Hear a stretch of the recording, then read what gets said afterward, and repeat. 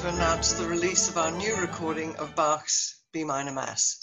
We recorded it live in the opening concerts of our last season, just over a year ago. Uh, so the recording features our brilliant chorus and orchestra and four fabulous soloists, all Bach specialists, Yulia Van Doren soprano, Krisztina Szabó mezzo, the tenor was uh, Jonas Hacker and the bass Tyler Duncan. Now this slightly enigmatic work is truly a mountain in our repertoire in Baroque music. Every time we take a breath to, to sing that opening chord, that B minor chord, I, I sort of feel we're stepping on the foothills of Everest. It is completely huge and we have such a long way to go. Um, I said enigmatic because well, you know, it's not really in B minor and it's not really a mass. Uh, it's actually mainly in D major. Most of this piece is in D major, the brilliant key of D major, but it opens in B minor because it's the relative key, and a couple of other movements are also in B minor, but that's all right. It's not, I say it's not really a mass because he wrote it in bits uh, and not in the same order, not in the right order, and, and over several decades. The Sanctus, actually, the mighty Sanctus, was written first in 1724. The Kyrie and Gloria he, he wrote together in 1733. And in the last two or three years of his life, he clearly thought about putting those together with other mass movements, and he wrote the Credo, uh, the uh, Benedictus Agnus Dei Dona Nobis Pacem. And clearly he was thinking of putting them together and performing the piece as a whole. Uh, but it never happened in his lifetime. He died in 1750 without having heard that um, whole piece. Nevertheless, it has an immense unity and logical unity to it despite having been composed piecemeal. And it is absolutely one of the greatest pieces of our repertory, and I would actually say one of the greatest pieces in all music.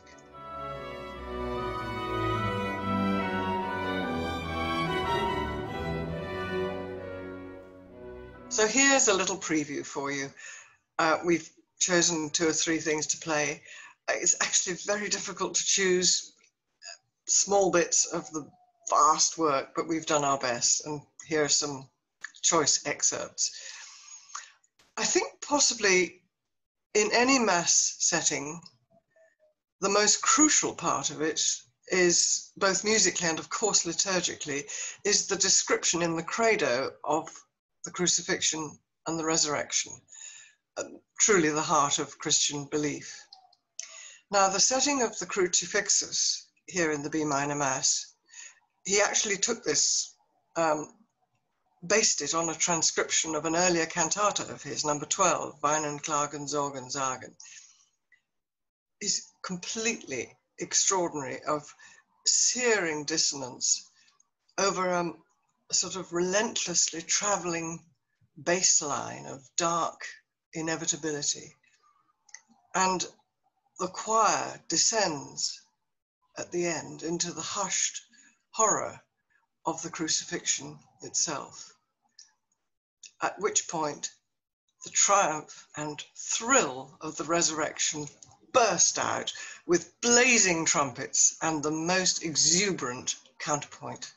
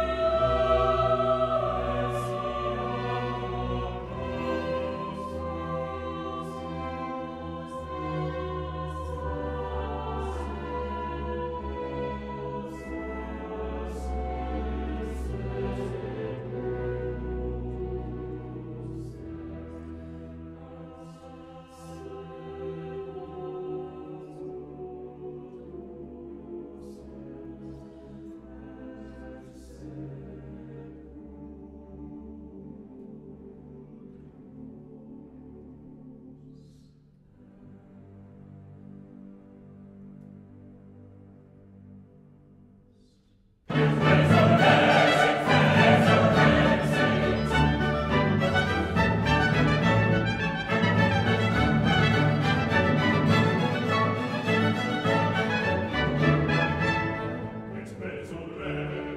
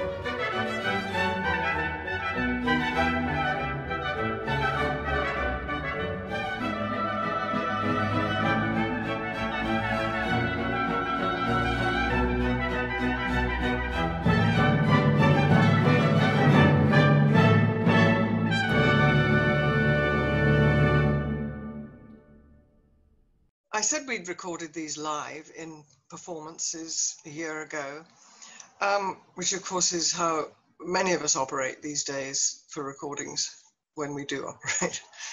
Uh, and it's quite hazardous, really, because of course there are much fewer opportunities to deliver the sort of perfection that we constantly aim for. Um, when little things happen in live performance, we try and correct them on the second one and so on.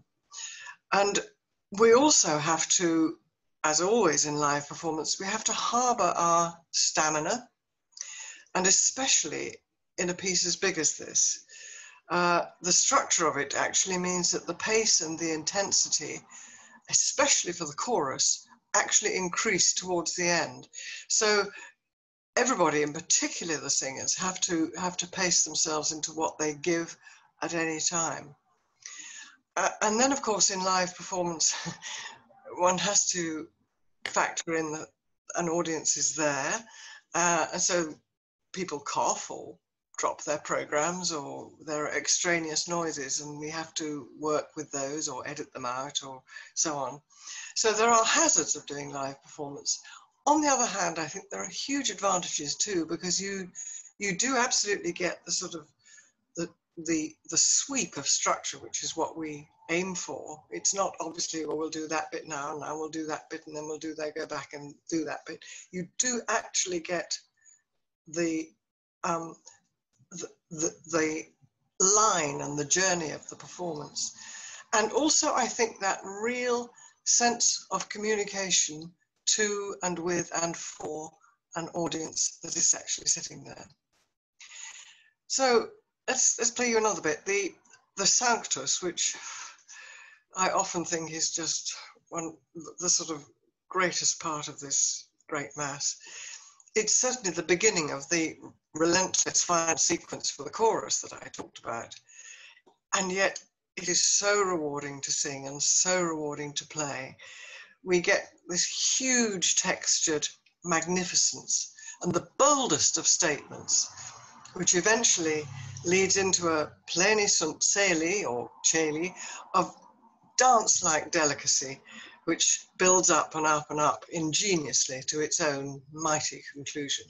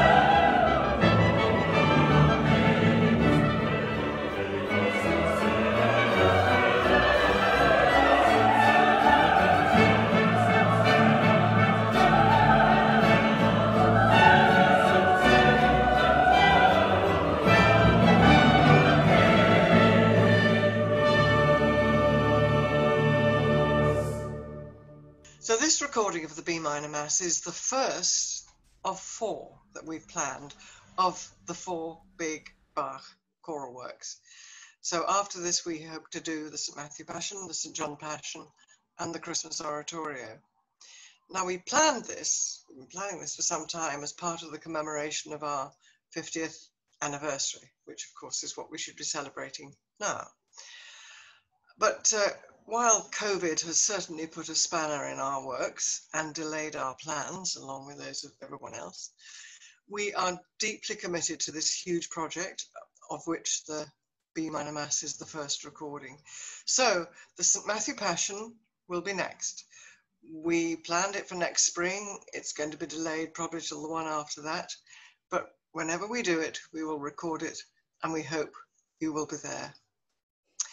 So back to the B minor Mass. Let's conclude with its own conclusion, the extraordinary uh, Dona Nobis Pacem.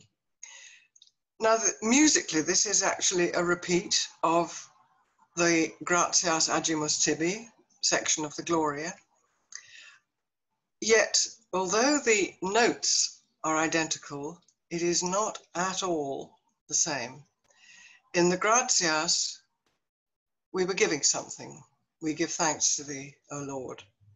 Here, in the Dona Nobis Pacem, we are asking for something. Give us peace. And they have a completely different feel about them. So, as Bach prays for peace, we begin with the, the quiet, reverential hush, which builds and builds in that unbelievable Bachian way of texture and dynamic, just increasing and intensifying and traveling to this brilliant and exuberant conclusion.